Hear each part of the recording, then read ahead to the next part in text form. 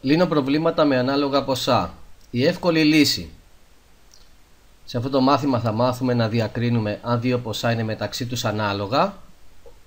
Το έχουμε πει σε προηγούμενο μάθημα πώς διακρίνουμε αν δύο ποσά είναι μεταξύ τους ανάλογα. Όταν το ένα πολλαπλασιάζεται με έναν αριθμό, με το 3 παραδείγματος χάρη, θα πολλαπλασιαστεί και το άλλο ποσό, η τιμή του, με τον ίδιο αριθμό, με το 3. Αν το ένα το διαιρέσουμε με έναν αριθμό, με οποιοδήποτε αριθμό, το 2, το 5, το 7, αυτόματα και το άλλο θα διαιρεθεί και αυτό με το 2, το 5 ή το 7 με τον ίδιο αριθμό. Αυτά είναι τα ανάλογα ποσά. Αυξάνονται ή μειώνονται αναλόγως. Λύνω προβλήματα με τη μέθοδο της αναγωγής στη μονάδα. Θα το θυμηθούμε, το έχουμε μάθει από την 5η τάξη, θα το θυμηθούμε σε αυτό το μάθημα. Και λύνω προβλήματα με τη μέθοδο της αναλογίας. Μια καινούρια μέθοδο που τη μαθαίνουμε τώρα στην 6η τάξη και είναι, όπως λέει εδώ πέρα το βιβλίο, η εύκολη λύση. Και εγώ πιστεύω ότι είναι πιο εύκολο να λύνουμε με τη μέθοδο της αναλογίας προβλήματα από ότι ε, με την αναγωγή στη μονάδα που τα λύναμε μέχρι τώρα. Για να δούμε λοιπόν τι θα μάθουμε. Όταν έχουμε προβλήματα με ανάλογα ποσά, μπορούμε να τα λύσουμε με δύο τρόπους. Τουλάχιστον στο κεφάλαιο αυτό, δύο τρόπους θα παρουσιάσει. Πρώτον, με αναγωγή στη μονάδα, η μέθοδος είναι ε, το τα το τα, όπως συνηθίζω να λέω στα παιδιά ε, και το, έχω παρουσιάσει, το έχουμε παρουσιάσει και σε άλλα βίντεο μαθήματα, το τα το τα, δηλαδή το τα που γνωρίζω. Από το τα που γνωρίζω θα πάμε στο το που είναι η μονάδα και μετά στο τα το οποίο αναζητούμε.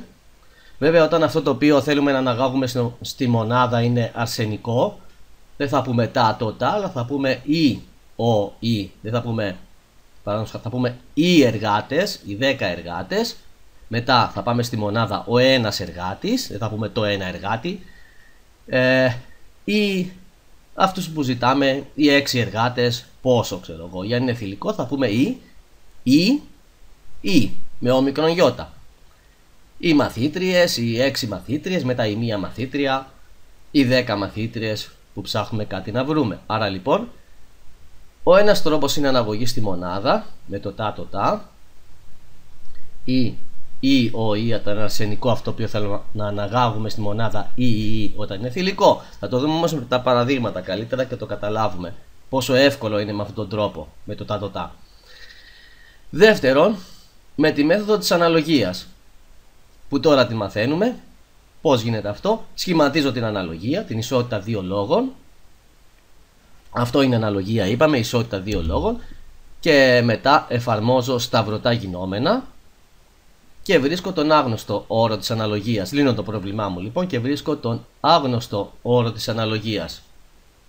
Η μέθοδος της αναλογίας θα δούμε και σε αυτό το μάθημα ότι είναι όντως μια εύκολη λύση, ένας εύκολος τρόπος να κάνουμε σταυρωτά γινόμενα και να βρούμε μετά να λύσουμε την εξίσωση. Θα το δούμε και αυτό. Επειδή λέει το μάθημα με δύο τρόπους δεν σημαίνει ότι είναι μόνο δύο οι τρόποι που μπορούμε να λύσουμε προβλήματα με τα ανάλογα ποσά.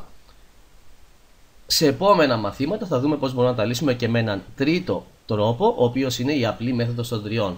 Και η απλή μέθοδος των τριών είναι όντως μία απλή μέθοδος, δηλαδή είναι πάρα πολύ απλή και εύκολη να την καταλάβουμε και ονομάζεται των τριών επειδή έχουμε τους τρεις γνωστούς και ψάχνουμε τον τέταρτο άγνωστο όρο ε, της αναλογίας των αναλόγων ποσών. Αυτά ως προς τη θεωρία, αλλά πιστεύω θα τα καταλάβουμε καλύτερα λύνοντας προβλήματα. Να δούμε λοιπόν το πρώτο πρόβλημα.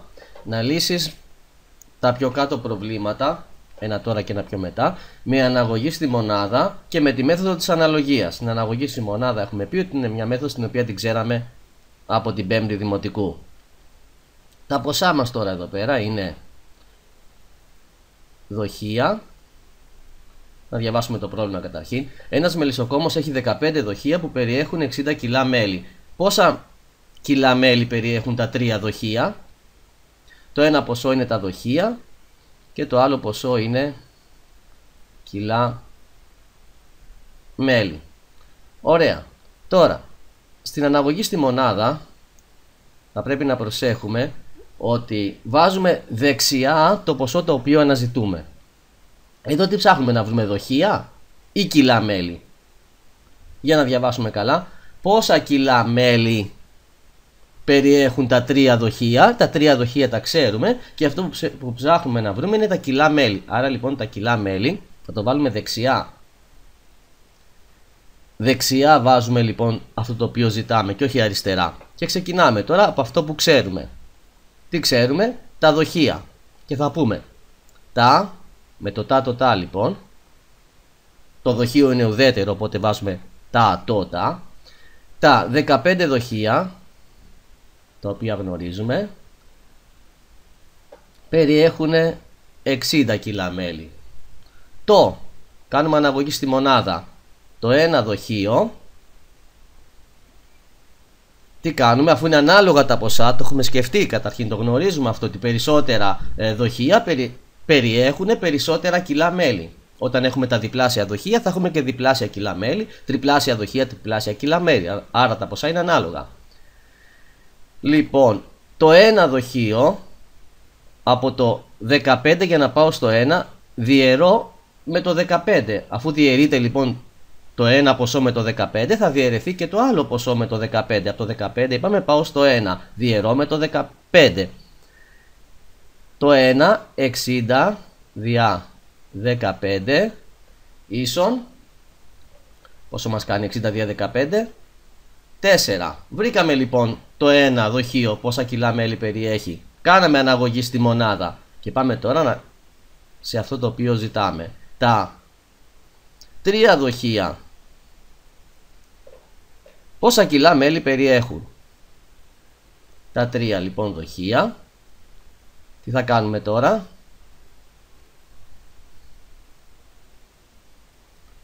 Από το 1 το ποσό δοχεία από το 1 πηγαίνει στο 3. Άρα λοιπόν πολλαπλασιάζεται με το 3. Οπότε και τα κιλά μέλη που είναι ανάλογο ποσό και αυτό θα πολλαπλασιαστεί με το 3. Από το 1 πάμε στο 3, πολλαπλασιάσαμε με το 3. Και τώρα το 4 θα πολλαπλασιαστεί και αυτό με το 3. 4 επί 3, 3, 4, 12. Και λύσαμε το πρόβλημα με τη μέθοδο της αναγωγής στη μονάδα. Τι είπαμε, τα 15 δοχεία περιέχουν 60 κιλά μέλη. Το ένα δοχείο, διαιρέσαμε από το 15 με το 15 και πήγαμε στο 1. 60 δια 15, 4. Τα τρία δοχεία. Ανεβήκαμε επί 3, λοιπόν πολλαπλασιάσαμε το ένα ποσό, πολλαπλασιάζουμε και το άλλο ποσό. 4 επί 3, 12. Άρα λοιπόν η απάντησή μας είναι ότι τα τρία δοχεία περιέχουν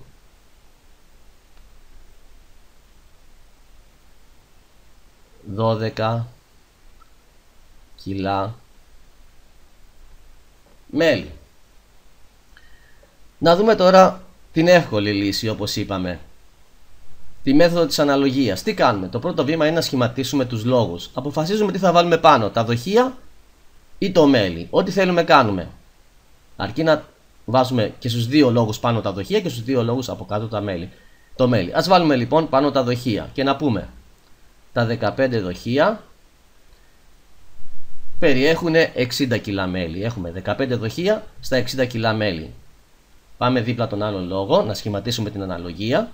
Τα τρία δοχεία, εδώ προσέχουμε, αφού πάνω είναι τα δοχεία, να βάλουμε και από την άλλη μεριά πάνω τα δοχεία. Μην βάλουμε από κάτω τα δοχεία.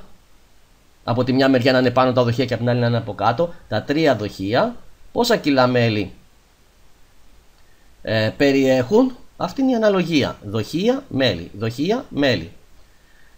Έχουμε πει ότι στις αναλογίες τα σταυρωτά γινόμενα είναι ίσα, άρα λοιπόν 15χ είναι ίσο με 3 επί 60. Συνεπάγεται 15χ, το ξαναγράφουμε πάλι από την αρχή, είναι ίσο 3618 180. Συνεπάγεται χ είναι ίσον, λύνω την εξίσωση, πως ο άγνωστος είναι παράγοντας γινωμένο, οπότε κάνουμε την αντίθετη πράξη. Με το 15 πολλαπλασιάζω το χ, θα διαιρέσω, αφού πολλαπλασιάζω με το 15 θα διαιρέσω και με το 15. 180 δια 15 συνεπάγεται χ είναι ίσον. Άμα κάνουμε τη διαίρεση, 180 δια 15, το 15 στο 18 χωράει μία φορά, μία ή 15-15, περισσεύουν και 3, Κατεβάζουμε και το 0,30. 2 ή 15. 30 από 30, 0. 12 λοιπόν, χ ίσον 12 και λύσαμε το πρόβλημα με τη μέθοδο της αναγωγής στη μονάδα βρήκαμε 12 και με τη μέθοδο της αναλογίας πάλι βρήκαμε 12. Στη μέθοδο της αναγωγής της μονάδας θα πρέπει να σκεφτούμε τι θα βάλουμε πρώτο και δεύτερο. Τα 15 δοχεία 60 κιλά μέλη. Ή θα λέγαμε τα 60 δοχεία είναι στα 15 κιλά μέλη. Αν το κάναμε ανάποδα θα μπερδευόμαστε. Και είπαμε ότι πάντα βάζουμε δεύτερο, το ζητούμενο. Αυτό το οποίο ψάχνουμε το βάζουμε δεύτερο. Και μπροστά βάζουμε αυτό το οποίο γνωρίζουμε. Έχουμε να σκεφτούμε αυτά τα πράγματα στην αναλογιστή μονάδα. Ενώ στην αναλογία τα πράγματα είναι πιο εύκολα. Βάζουμε πάνω το ίδιο ποσό και από κάτω το άλλο ποσό σχηματίζουμε στα βρωτά γινόμενα. Εγώ πιστεύω ότι η αναλογία είναι και πιο εύκολη και πιο ακριβής.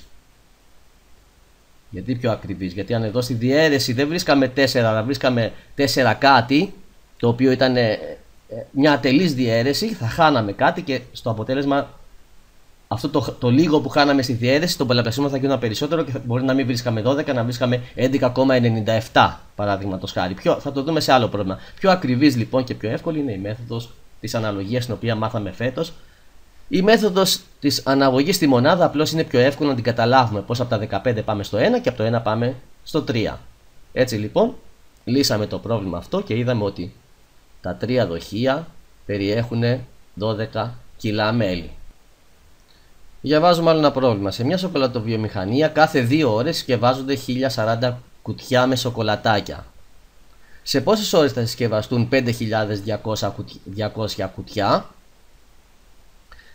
Λοιπόν, ένα πρόβλημα το οποίο θα πρέπει να το λύσουμε με τη μέθοδο της αναγωγής στη μονάδα και με τη μέθοδο της αναλογίας. Πρόβλημα με ανάλογα ποσά. Για να δούμε όμως καταρχήν τα ποσά. Το ένα ποσό είναι ώρες και το άλλο ποσό είναι κουτιά.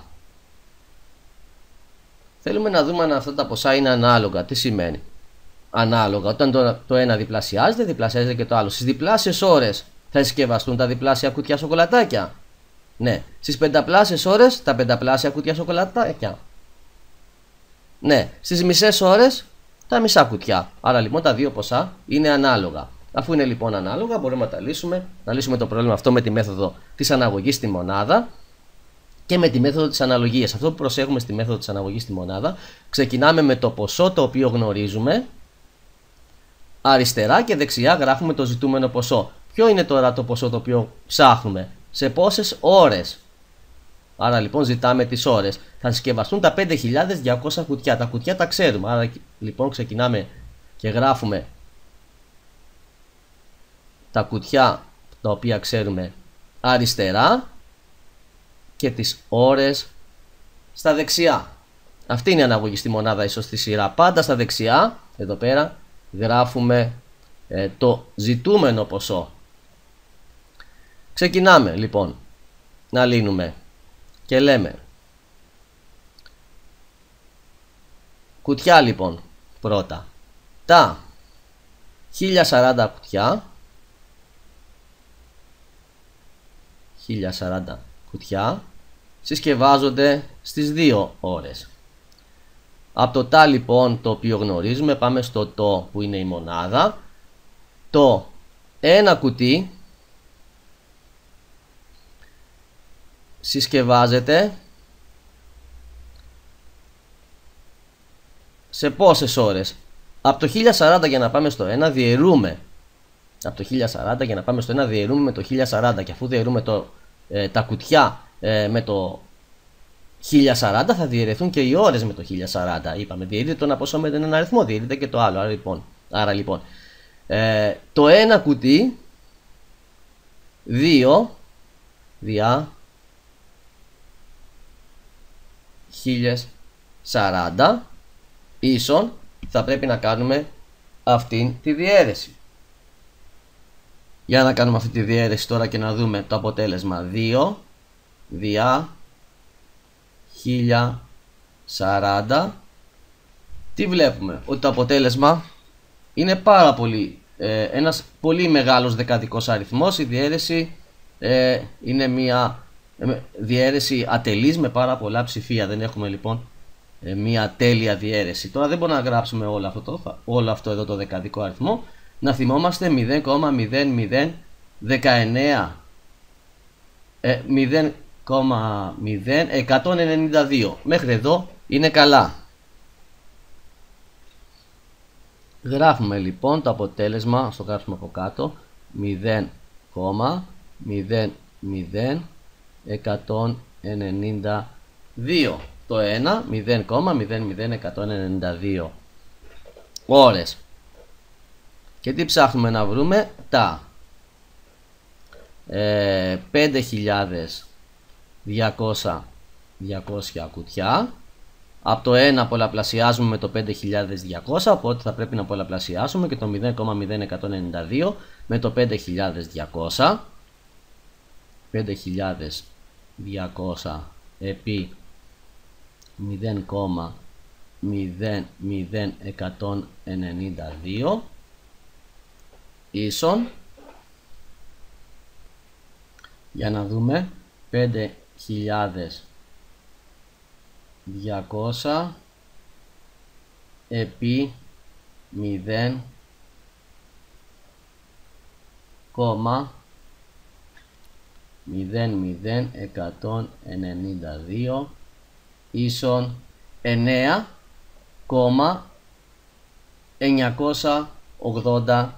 9,984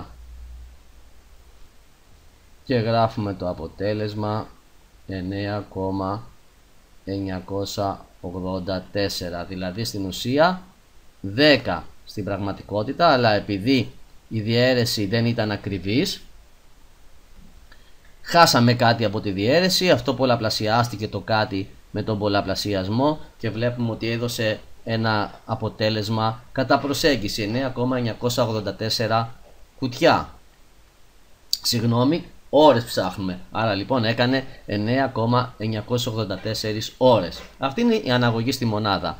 Θυμόμαστε ότι δεξιά αριστερά βάζουμε αυτό το, οποίο, το ποσό το οποίο γνωρίζουμε και δεξιά το ζητούμενο ποσό. Με τη μέθοδο της αναλογίας δεν, δεν τα σκεφτόμαστε όλα αυτά, ποιο θα πάει πάνω και ποιο θα πάει κάτω, αλλά απλώς πρέπει να φτιάξουμε τους δύο λόγους. Δηλαδή να σκεφτούμε, να πούμε ότι πάνω θα βάλουμε το ένα ποσό και κάτω το άλλο ποσό. Τα 1040 κουτιά σε δύο ώρες, κοιτάξτε πόσο εύκολο είναι και αυτή είναι η εύκολη λύση. Τα 5200 κουτιά σε πόσες ώρες. Το μόνο που πρέπει να προσέξουμε είναι ότι αφού βάζουμε από τη μια μεριά από τον έναν λόγο πάνω τα κουτιά και κάτω τις ώρες και από τον άλλον λόγο θα βάλουμε πάλι πάνω, πάνω τα κουτιά και κάτω τις ώρες. Εφαρμόζουμε σταυρωτά γινόμενα και λέμε 1040 χ είναι ίσον με 5200 επί 2 συνεπάγεται η εύκολη λύση λοιπόν 1000 40 χ ίσον 2 5 10 10 2 2 4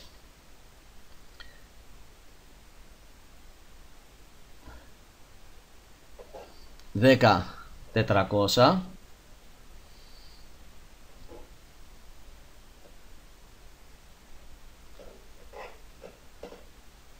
συνεπάγεται χ ίσον 10.000 400 με το 1040 πολλαπλασιάζω με το 1040 θα διαιρέσω δια 1040 συνεπάγεται χ ίσον 10.400 δια 1040 ίσον 10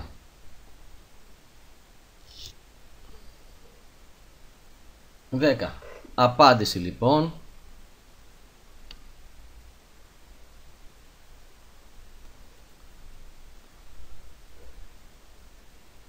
Τα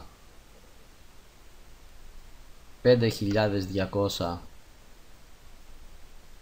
κουτιά συσκευάζονται σε 10 ώρες. Τι είδαμε με αυτό το πρόβλημα, ότι η μέθοδος της, αναλογ... ε, της αναγωγής στη μονάδα δεν ήταν και τόσο ακριβής, γιατί μας έδωσε αποτέλεσμα 9,984 ενώ το σωστό αποτέλεσμα είναι 10 ώρες γιατί επειδή στη διαίρεση πέσαμε πάνω σε μια ατελή διαίρεση με πάρα πολλά δεκαδικά ψηφία τη συντομεύσαμε, τη στρογγυλοποιήσαμε, χάσαμε κάτι και μετά αυτό το κάτι το λίγο που χάσαμε στον πολλαπλασιασμό αφού πολλαπλασιάσαμε με το 5200 μεγάλωσε και είχαμε μια απόκληση. Άρα λοιπόν καλύτερη, όχι μόνο η πιο εύκολη λύση αλλά η εύκολη αλλά και πιο ε, ακριβής μέθοδος είναι η μέθοδος της αναλογίας. Πολύ ωραία. Λύσαμε λοιπόν δύο προβλήματα ε, με ανάλογα ποσά. Με τη μέθοδο της αναλογίας και με τη μέθοδο, με τη μέθοδο της αναγωγής στη μονάδα και με τη μέθοδο της αναλογίας και είδαμε ότι η μέθοδο της, της αναλογίας που μάθαμε φέτος είναι και πιο εύκολη και πιο ακριβής. Θα συνεχίσουμε με άλλα μαθήματα ε, και θα πούμε περισσότερα. Γεια σου.